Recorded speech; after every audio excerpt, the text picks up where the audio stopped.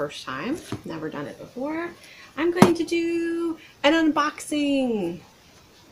Um, but before I get to that, just want to um, say if you are a return viewer, thank you so much for coming back. Um, I do appreciate all the interaction and the people that I'm meeting uh, on YouTube and online and other platforms um, in which I've you know made connections with other crafters and like-minded people.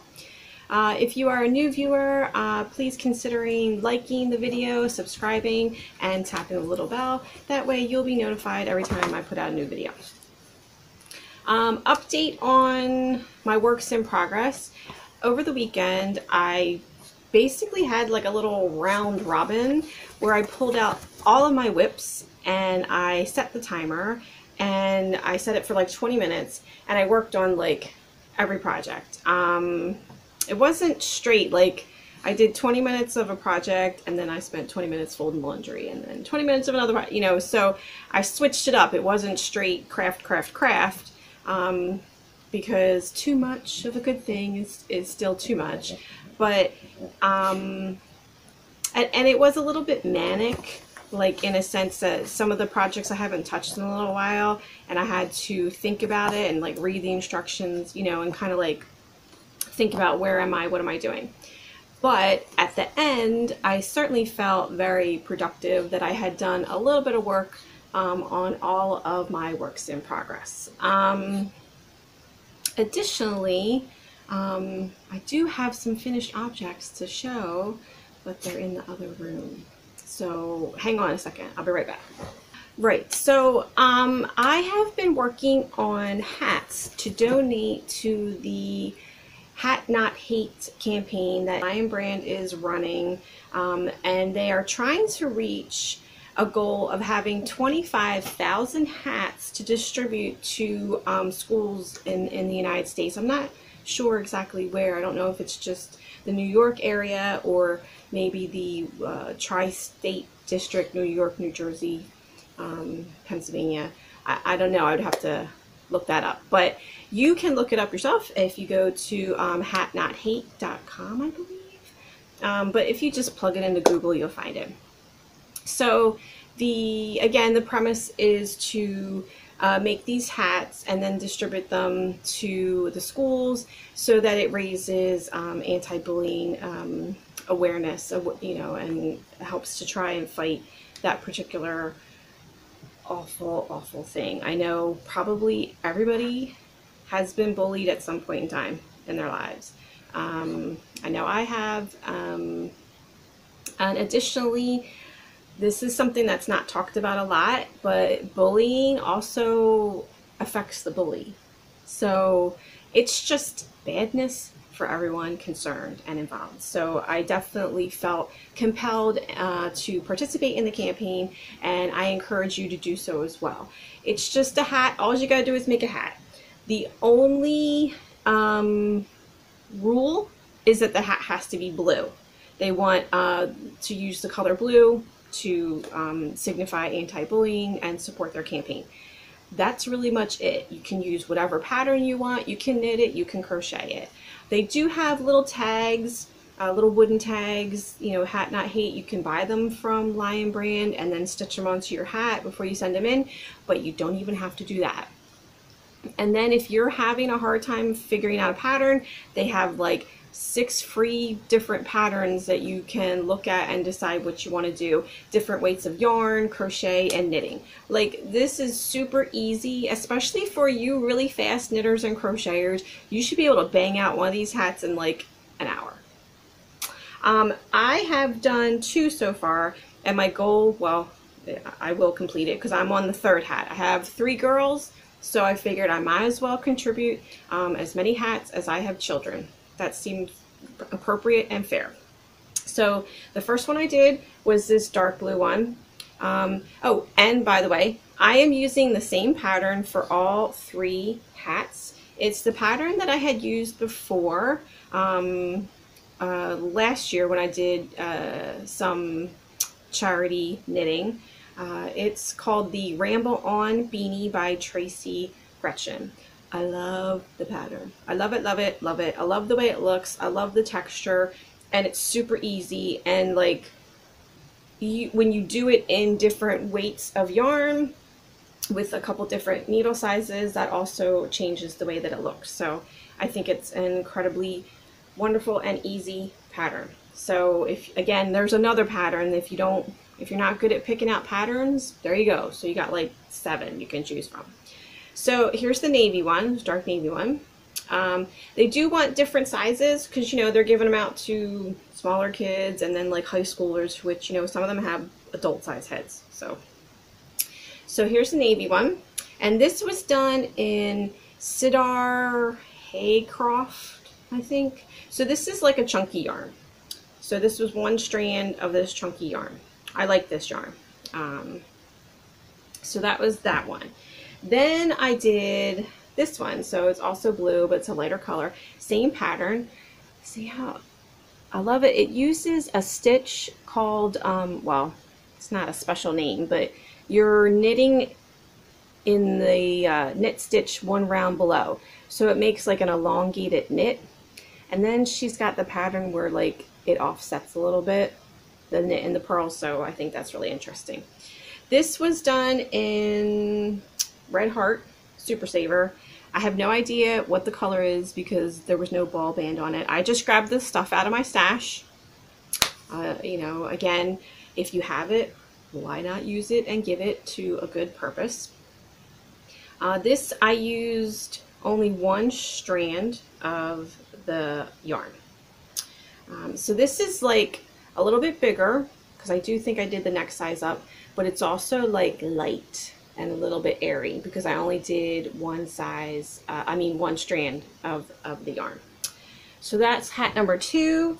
Hat number three, I have right here. I'm working on it. This two is um, Red Heart Super Saver. I am using a slightly larger set of needles than the pattern calls for, and I'm holding two strands together.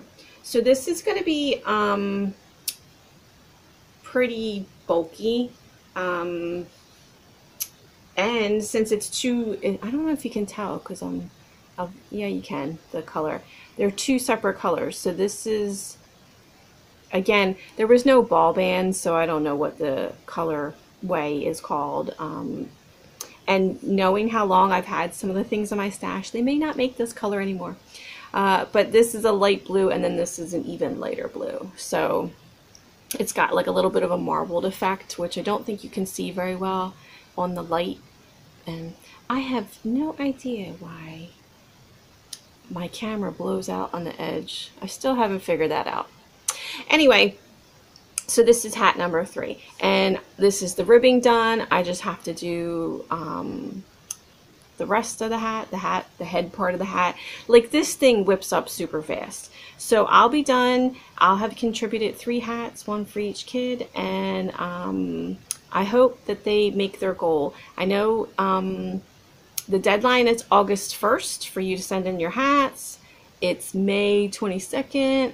I think they only have like 1,500 to 2,000 hats last time I checked. I could be wrong. They could have gotten like a massive influx, but last time I checked, it was like 15 to 2, 1500 to 2000.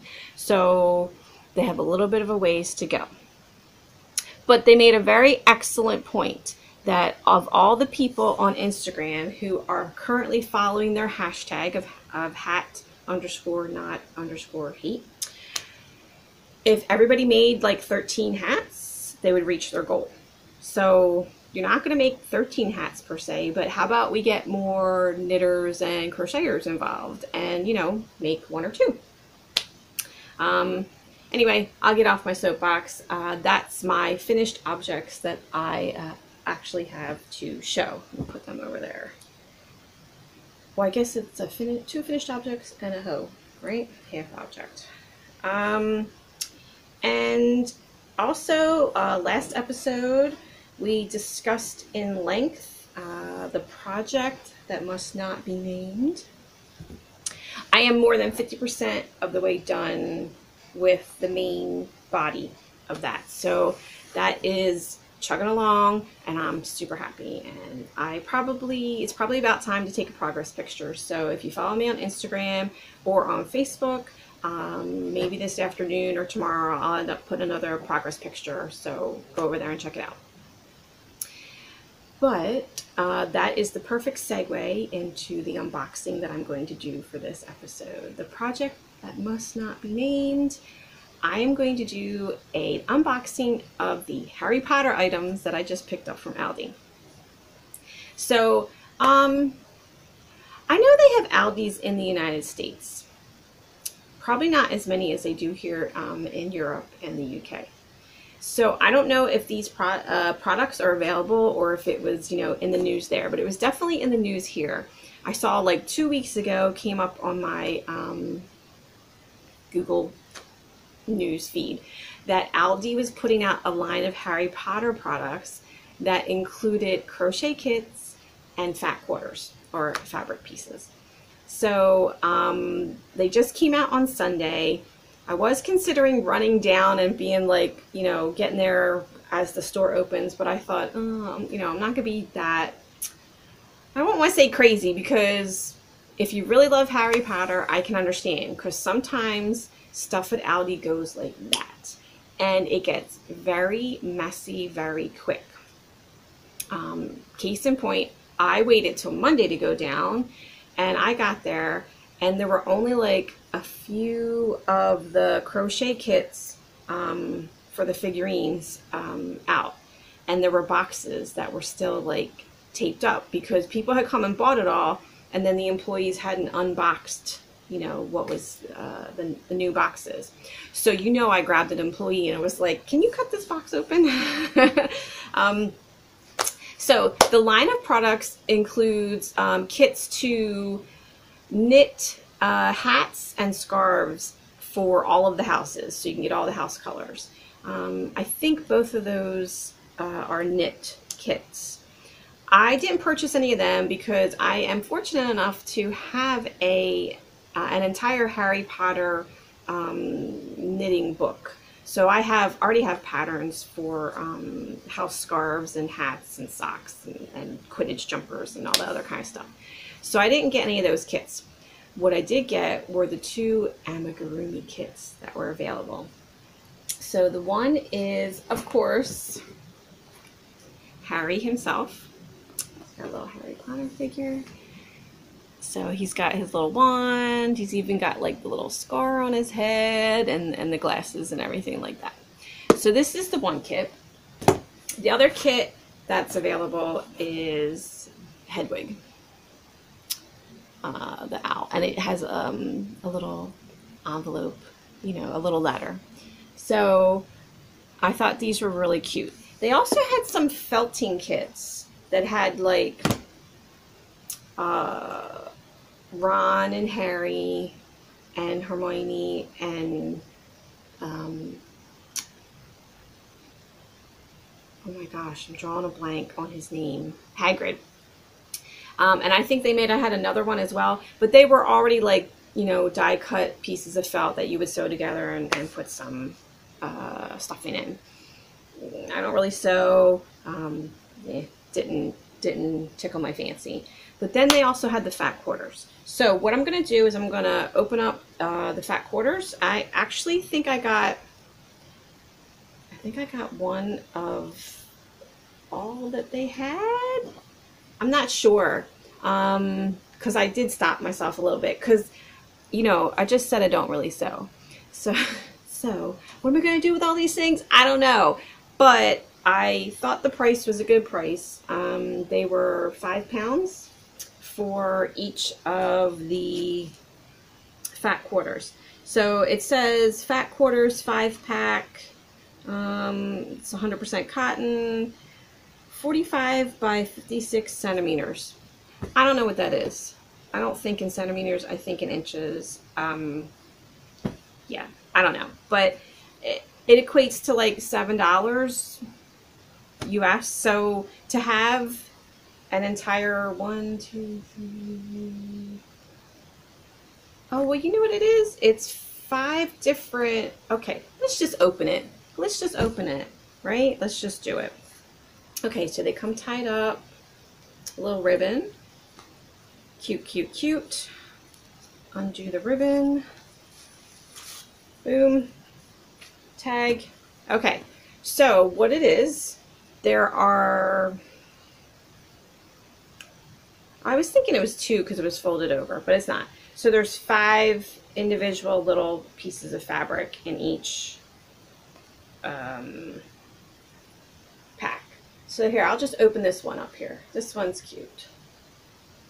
This is uh, the castle, Hogwarts, on a background of stars.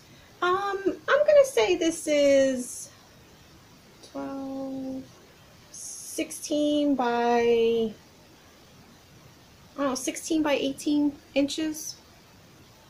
I don't know. Y'all have to check my math because you know me, I don't do math. So here's that one. That's cute. But you definitely could use this for, I was thinking like a lining inside something. Or maybe making like little small coin purses or something like that. Here is next one. It is yellow stripes and it says platform nine and three quarters. So that one's cute. I think they're all cute. I mean, obviously, I wouldn't have purchased these things if I didn't think they were cute.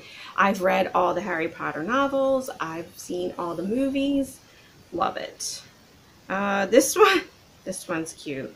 So this has got, it's got the trio on it, and it's also got He Who Must Not Be Named. And then there's uh, Hedwig. There's one of them little fairies. I forget. I know they're not called fairies. I forget what they're called.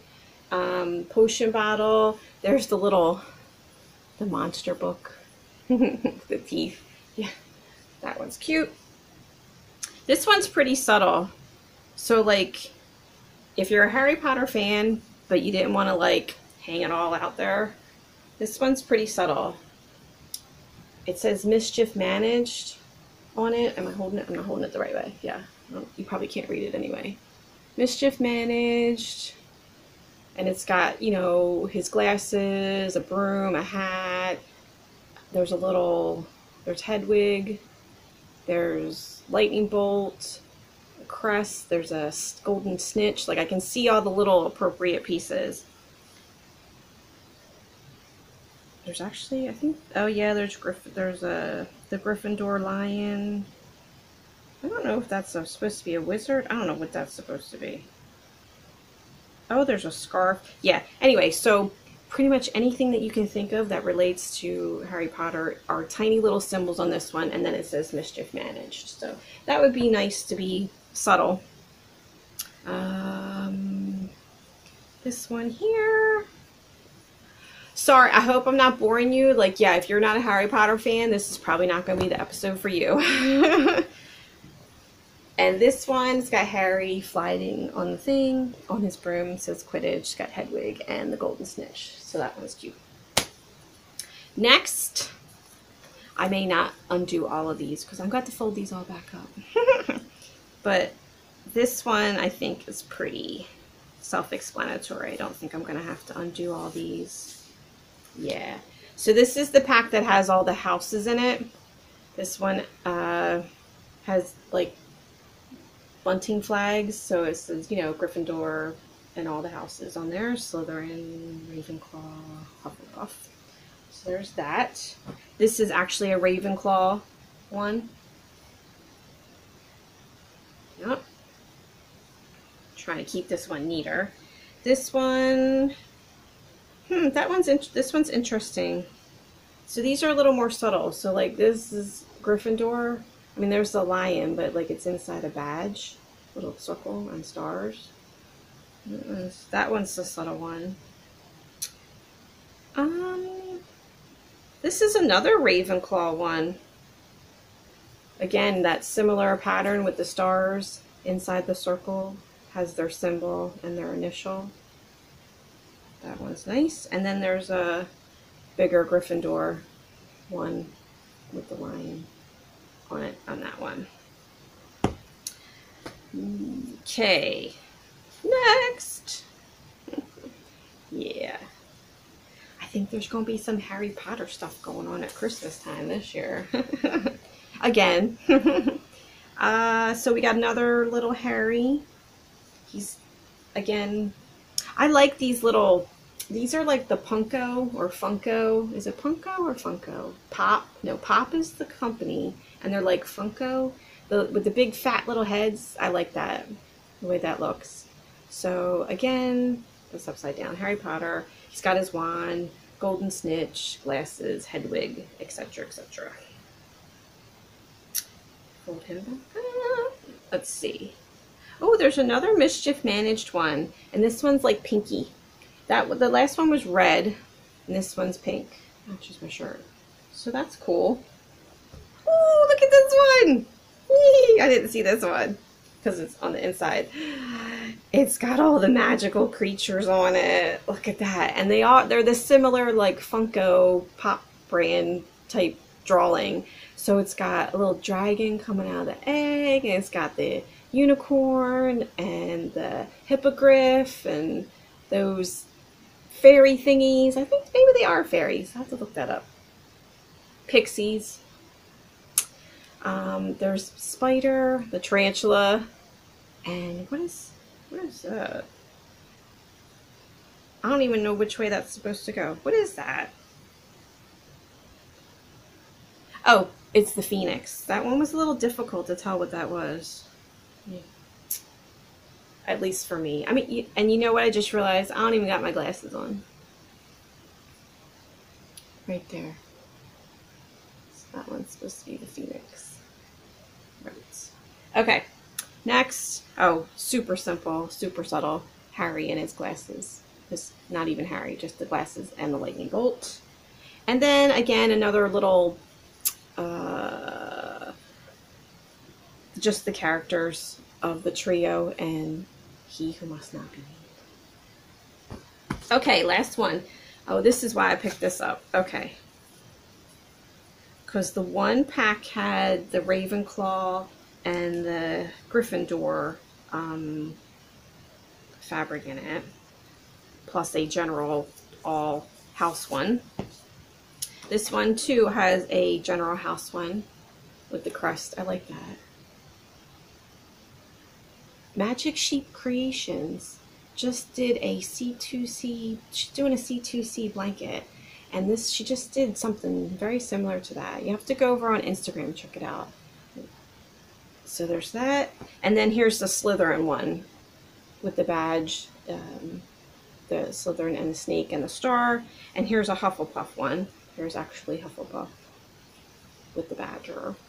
And then here's their, that one with the star and the badge. And then straight up Slytherin.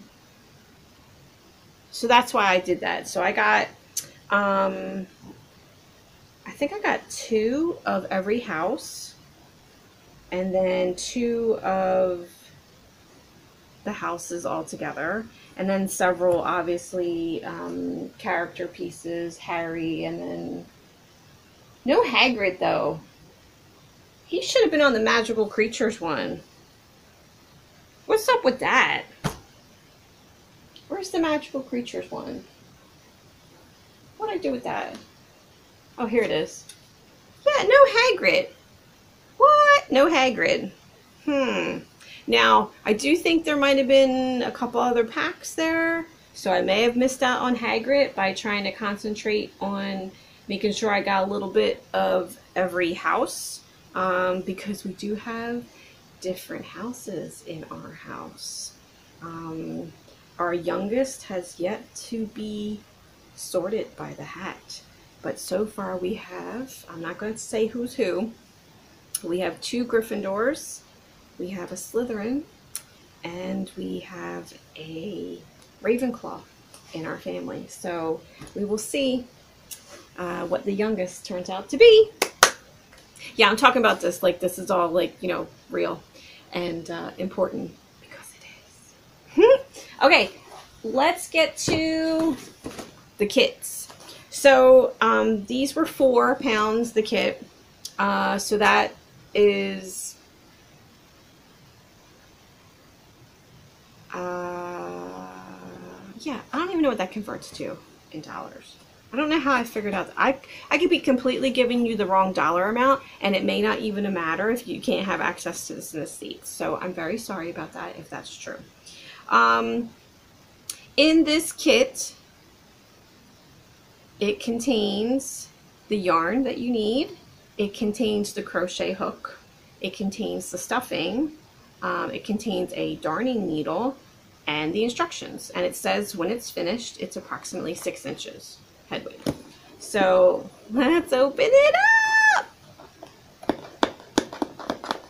little piece of tape here, holding it shut. This is the one that I made the guy open up the box for because there was still like one or two Harry Potters left, but there was no Hedwigs. And I had seen, again, Magic Sheep Creations uh, on Instagram. I'm sorry, I don't actually know your first name. I should know your first name because I met you um, at the um, Wool Festival in Skipton. Uh, but anyway, she had gone down to uh, Aldi on Sunday straight away. So I knew there was a Hedwig one. So I was like, yeah, let me see. Open it up for me, Mr. Aldi. Uh, okay, so here's the inside of the box. Obviously, this is the yarn for Hedwig. Pull it out. Little ball. I'm assuming this is acrylic. Um, DK weight? I'm, I'm gonna guess. I'm not good at that. It's, it's definitely thinner than worsted, but not much thinner. So I'm gonna go with DK weight as to the weight of the yarn. Another another ball.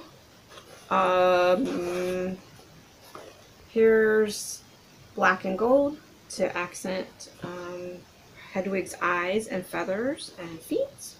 Oh, a little bit of brownish red for the seal on the letter.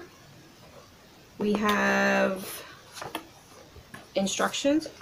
I got two. Oh, bonus. Double instructions. Wait, let me see. Okay, English. I'm seeing English. I'm seeing English. Let's see. Nope, that's in English too. So I got two sets of instructions in this box. Bonus. Stuffing. Yep, that'll do. Okay, now to this part. Right. um, tiny little plastic crochet hook and plastic darning needle. Probably not going to use these. Um, yeah, not going to use this. Uh, really flimsy.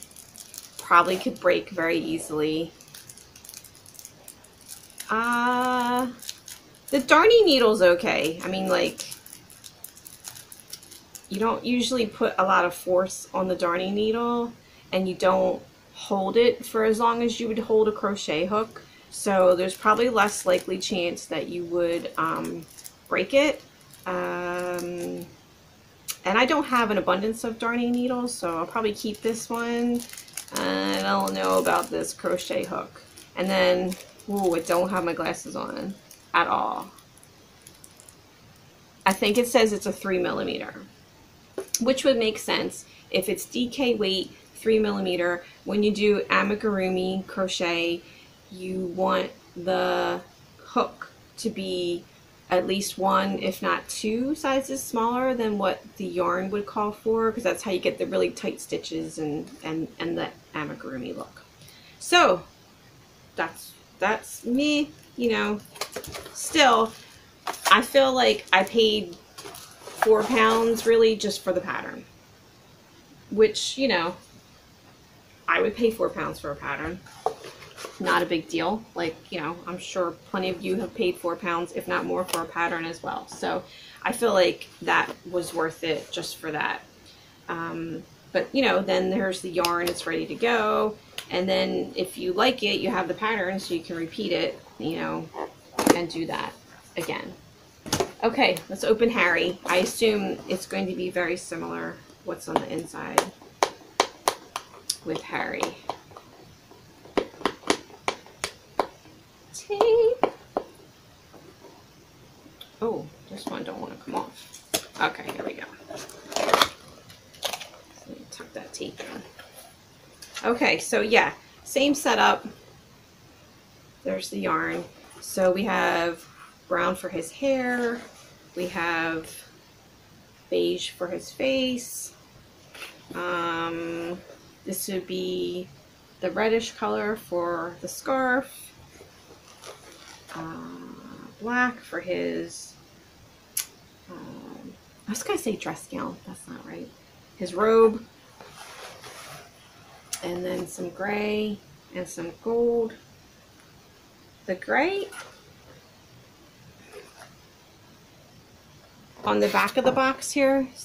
Let me see. So the gray is like the top of the robe. They have like a little cowl, I guess, that holds the robe closed. Or, or that is, you know, shapes the body, so holds it closed. So that's what that's for. And then obviously the gold is for the scarf. And then we got tiny little string for the lightning bolt on his head. So I am wondering now um, if I'm going to have enough yarn. I guess if you're a not a tight crocheter, a loose crocheter, which you really can't be a loose crocheter and do amigurumi, but um, yeah, they they are they didn't give me a ball of every color. Looks like they gave me just what I would need to complete the project. So it does make you kind of wonder, like, are you gonna have enough? Well, obviously I only gotta sew on the lightning bolt, so that'll work. But like the scarf, right? Um, that so uh, yeah, so I'll have to make one and uh, let you know. Or maybe somebody else has to make one and let you know because, you know, I always have a lot of things in the queue. Um, but here's the stuffing again. Same, same needle and darning, same crochet hook and darning needle. And, oh, yep, only one Harry Potter pattern. So obviously the Hedwig, that was a an accident, an extra, but I have an extra pattern. uh, so yeah, so that's exciting um, and cute. I don't know when I'll be starting these because I have multiple birthday gift items that need to come in the queue first. But I was happy that I went down and got these. I'm yeah, I'm happy with my purchases. I'm okay with waiting, you know, putting something aside and knowing that it's there and getting to it when the time is appropriate. I still have, I actually have um, an amigurumi kit, a Star Wars one, uh, Yoda that my aunt had given me. Um, so that's that. I have that in the queue as well of, of things to do. So there you go. My first unboxing video um, of Harry Potter items from Aldi. I certainly hope that you enjoyed watching this. I enjoyed looking at all these things. This is actually the first time, like, I went down to the store um, uh, and I just went and purchased the fabric. I grabbed the kits and then I came home and I haven't I haven't looked at it. These literally unboxing as as you're um, watching it. So um, again, I hope you enjoyed this video. If you did, please consider liking, giving a thumbs up, subscribing, tapping the little bell. And until I see you again next time, I hope that you get some good crafting in, whether it's knitting, crocheting, sewing, whatever it is. I hope that you stay healthy and well, and I hope that you go out there and you make some magical memories of your own. See you next time. Bye.